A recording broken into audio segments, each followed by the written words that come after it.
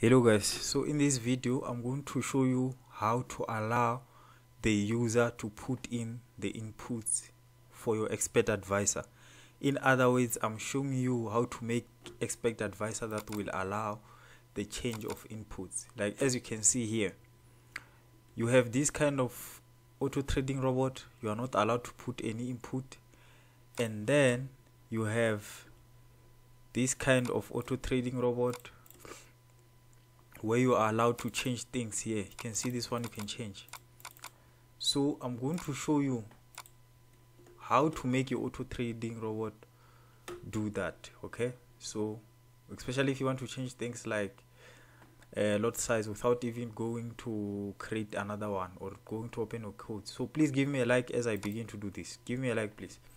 So what you do you can see here this is the empty one if you want to create it. Simple you come to new template and then you can just write. I'll, I'll say inputs.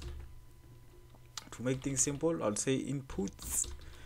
Yeah and then next next next finish. And then I'm going to put everything on in it okay? Okay since I'm not putting anything so we'll just be doing the variables okay? Let me compile my my auto trading robot. It's the name is inputs. You can see here if you check here here is my auto trading robot drop it on the chart. Allow whatever there's no input that is allowed you just put it there. But then i want this auto trading robot to have inputs okay? So first thing first i can just say if you want the input first thing you must uh, show that this is the input okay? You say input and then you put the type int and then you give the name. Let's say I'll say lot size. And then you give default value and says 10 okay? Let's see if I did everything right. Yes. Now what happens is that we have input. You can see here. You can change this anytime you want. Okay? You can change this anytime you want. You can change here.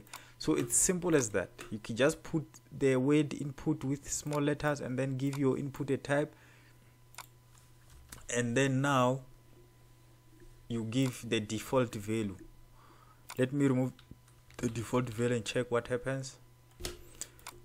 Compile no errors. Then let's let me double click my auto trading one. Okay still saying 10 but technically it's zero okay? Let me put another robot so that I can verify that uh, where it was input as soon as you place it on the chart it will say input it will say zero because now there's nothing there. You can also even change this to a string. You know you can give your robot the input of string. Let me compile and check. Because when there's nothing it says zero. I want to see what it says. Okay it says abc so it won't say nothing but you can still type anything. Anything that you type here will be taken as the input for your robot. Whatever that you type will be placed to this one. Okay so thank you. Give me a like please. And then so that i can make more videos. Because if you don't give me a like it means you don't like the videos and then i won't be able to make more. So give me a like and give me a subscribe. Sharp